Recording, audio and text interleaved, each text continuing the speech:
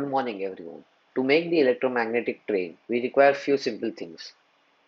The first one is neodymium magnet. The second one is copper coil, and the third one is an optional thing, but it, uh, they are pliers uh, to cut the wire or to bend it if it doesn't bend.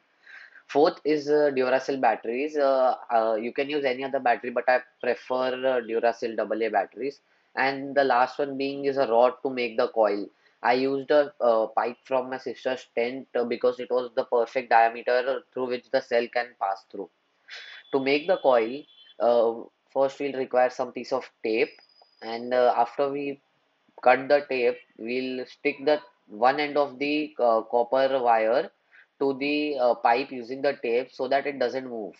And after that, we can easily make the coil.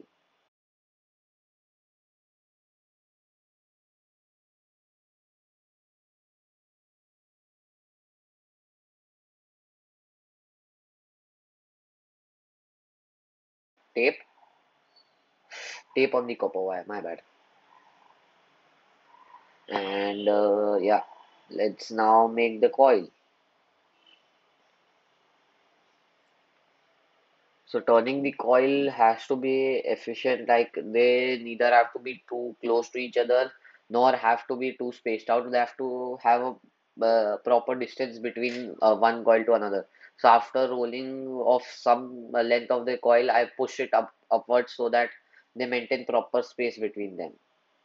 Because if the coils touch together, then the induction won't flow. And now this is a final coil, and I'll remove it from the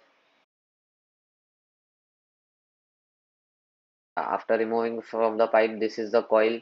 This is how the coil looks like, spaced out evenly. Yeah, so let's create our train. So to create a train, first we need to make sure that the magnets we attach should repel each other. Should be the same poles, like south south pole uh, were facing each other. And now if we push uh, the if we push the train through through the copper wire, it fires. So the This happens because when the battery is placed inside the coil, both the magnets are touching the coil, produce a closed circuit between the two magnets and current flows. As the current flows through the conductive copper wire, a magnetic field is created around the wire. This magnetic field interacts with the magnetic field created by the neodymium magnets in that way that repels the magnets on one end and attracts the magnet on the other end, pushing the battery through the coil.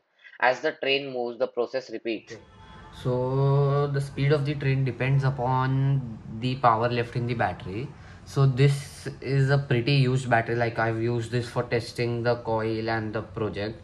So when I pass it through, so it takes some time. Like it goes slowly, slowly, slowly, and see here between it gets stuck.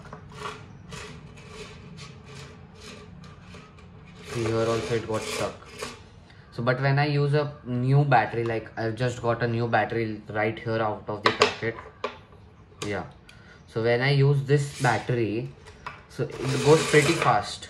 It goes pretty fast